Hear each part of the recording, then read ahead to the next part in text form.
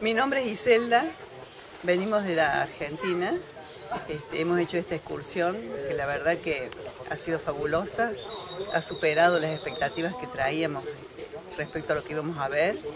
Y la gente ha sido toda muy amable, los, coordinadores y guías este, excelentes en la información que nos dieron, así que muy conformes nos volvemos.